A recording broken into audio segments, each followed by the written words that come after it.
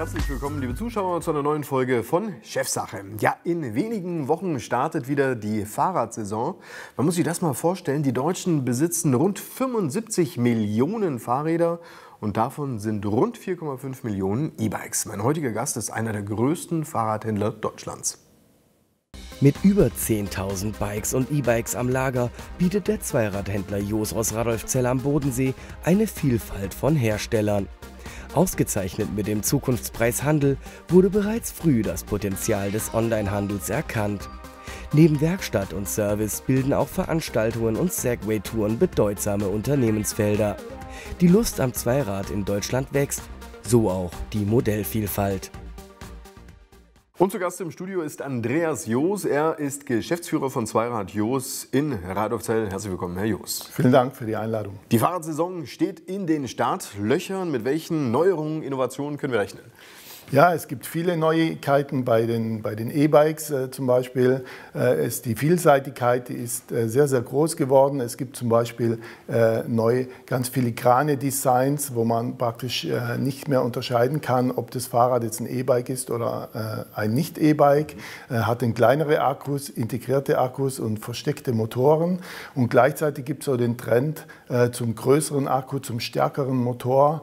Ähm, wo auch Reichweiten über 200 Kilometer erreichbar sind. Man hört ja auch immer wieder, heutzutage muss ja alles digital sein und vernetzt sein. Gilt das auch fürs Fahrrad? Das gilt auch fürs Fahrrad. Die Konnektivität hält also Einzug.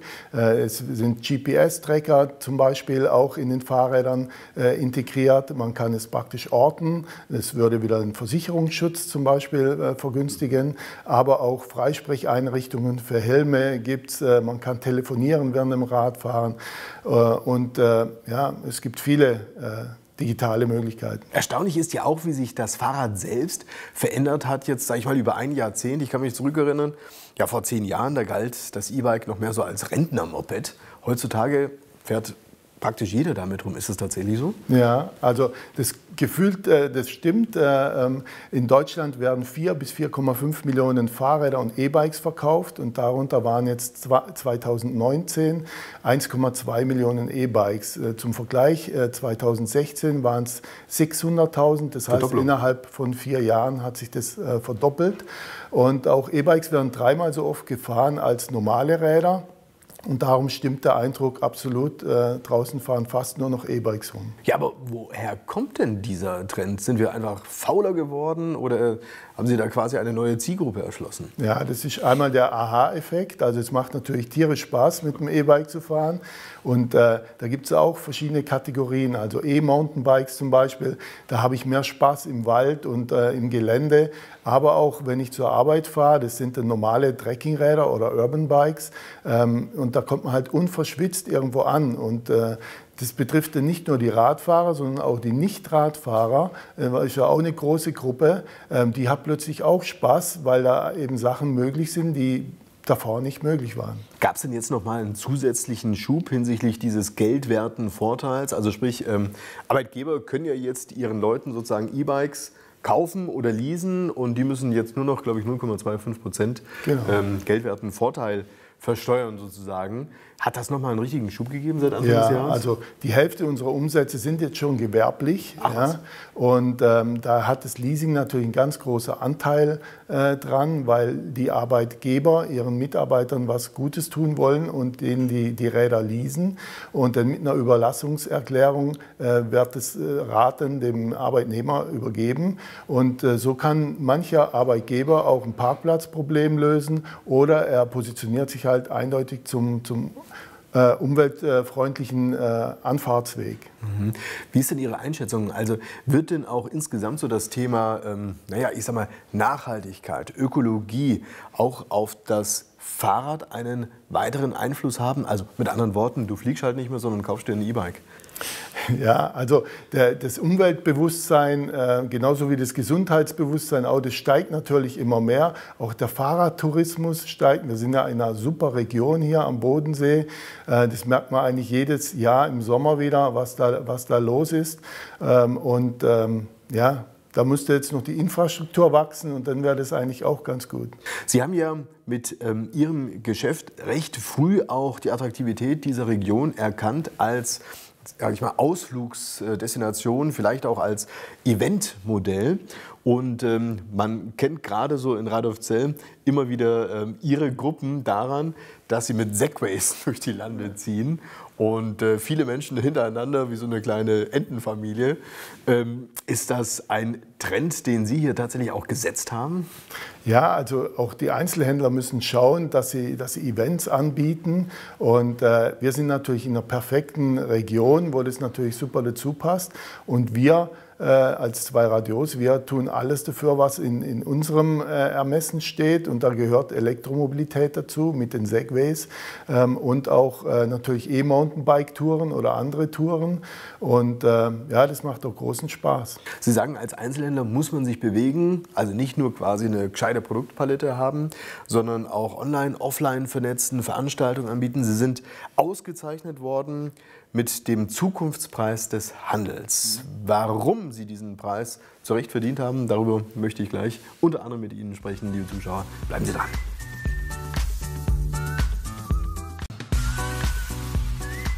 Und damit herzlich willkommen zurück, liebe Zuschauer. Bei Chefsache zu Gast im Studio ist Andreas Joos. Er ist Geschäftsführer von Zweirad Joos aus Ralfzell, einem der größten Zweiradhändler in Deutschland. Ja, und Sie sind auch Preisträger des Zukunftspreises Handel, weil Sie es geschafft haben, die Online-Welt mit der stationären Welt zu verbinden. Wenn ich das richtig verstanden habe, sieht es eigentlich so aus, der Kunde, der kann online sich seinen Wunschfahrer zusammenstellen und das kann er dann in einer Filiale abholen, richtig? Genau, so ist es.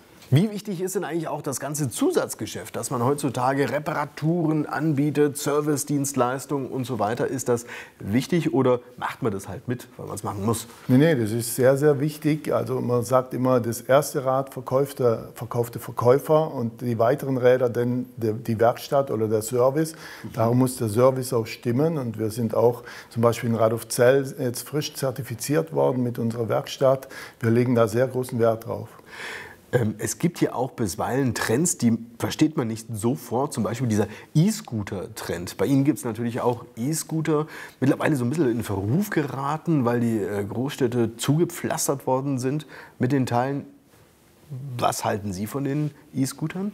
Also E-Scooter hat äh, ein bisschen einen schlechten Ruf inzwischen, aber das kommt äh, eigentlich ausnahmslos durch die Verleihscooter, ja, die über Städte ausgeschüttet wurden und es gab kein Platzangebot, wo die, wo die äh, richtig gestellt äh, werden sollten. Äh, aber an sich, der Scooter hat schon äh, eigentlich seine Berechtigung, gerade wenn man verschiedene Mobilitätsformen verbinden muss, zum Beispiel Zug oder Bus, kann man halt den kostenfrei mitnehmen mitnehmen und kann die letzte Meile oder die letzten Kilometer äh, mit so einem E-Scooter äh, fahren. Man hört auch immer wieder von Fahrrädern, die so wie kleine ähm, LKWs sozusagen unterwegs sind in den Städten, also Lastenfahrräder. Ist das der Trend, der uns erwarten wird in den Großstädten vor allen Dingen? Ja, also Lastenräder ähm, werden zum Beispiel schon mehr Lastenräder verkauft in Deutschland als Rennräder. Ähm, das ist schon so ein erstes Anzeichen dafür, dass es schon ein großer Markt wird. Und es gibt zweierlei verschiedene Lastenräder, einmal für die Familie und natürlich auch Cargo. Also Cargo heißt dann für äh, zum Beispiel Handwerksbetriebe, dass die auch in Fußgängerzonen einfahren können, um ihre Arbeit zu verrichten. Und die Familie äh, kann genauso gut ähm, ähm, die Kinder, also bis zu drei Kinder transportieren, um äh, sie in den Kita zu bringen. Ja, eigentlich eine ganz praktische Sache. Sie stellen sich ja darauf rein, dass ähm, ja unterm Strich es mehr Fahrräder geben wird, verschiedene Typen. Deshalb möchten Sie ja auch ein sehr großes Logistikzentrum bauen. Was hat es denn genau mit diesem Projekt, wie haben Sie es genannt, 2022 auf sich? Ja, die Vision 2022, äh, das ist geschuldet eigentlich, dass die Flächen äh, in der Innenstadt äh, eigentlich zu klein sind, um das ganze Sortiment noch abzubilden. Wir haben jetzt seit zehn Jahren, vor zehn Jahren hatten wir zum Beispiel nur normale Räder. Ähm, jetzt ist alles auch elektrifiziert. Das heißt, die Menge wird verdoppelt und auch die Lastenräder brauchen natürlich mehr Platz für die Präsentation und dafür braucht man eben Fläche. Und äh, die Vision 2022 war quasi in ein Logistikzentrum an der Autobahn äh, gedacht. In Geisingen und wie ist denn dieses Logistikzentrum genau aufgebaut? Also da kann man ja auch dann tatsächlich reingehen als Kunde. Genau. Also einmal ist ein Logistikzentrum für 20.000 Fahrräder, ähm, aber auch äh, eine Neuradmontage, eine Ma Manufaktur wird äh, drin Platz erhalten. Und was ganz Besonderes ist, ist die Teststrecke, eine Indoor-Teststrecke über 700 Meter mit verschiedenen Untergründen, die, die quasi auch über ähm, äh, über Gras oder über Schotter ähm, denn nach oben führt, also bis aufs Dach hoch äh, durch das ganze Gebäude, äh, weil der richtige Aha-Effekt beim E-Bike wie auch beim äh, Sportgerät kommt immer an der Steigung, also wenn es bergauf geht. Und somit können auch äh, das ganze Jahr über Probefahrten gemacht werden, auch wenn es draußen nass und eklig ist. Das ist also ein, ein Grund und äh, da, da werden auch die Werkstätten werden natürlich auch größer, damit auch äh, Transportfahrräder dort ähm, repariert werden können, die jetzt im Moment so noch nicht repariert werden können, weil zum Beispiel ein vierrädriges äh, Transportrad kriegen wir im Moment noch gar nicht in die Werkstätten rein. Abschließende Frage, wenn man jetzt ähm, Chef von so einem großen Fahrradgeschäft ist, tausende von Fahrrädern hat, fahren Sie denn auch wirklich jeden Tag Fahrrad?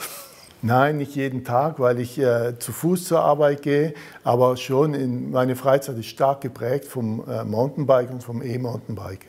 Und Ihre liebste Mountainbike-Strecke ist wo? Ja, am Chiner Berg fahre ich am liebsten. Ähm, oder das ist der schnellste Weg, wo ich auf Trails komme. Und äh, das ist mein Favorit. Ja. Herzlichen Dank für das Gespräch und für diese Einschätzung aus Ihrer Branche. Schön, dass Sie hier waren, Andreas Joos. Dankeschön. Liebe Zuschauer, das war es auch schon wieder soweit an der Stelle. Es würde mich freuen, wenn Sie nächste Woche wieder einschalten bei einer neuen Chefsache. Bis dahin Ihnen alles Gute. Tschüss.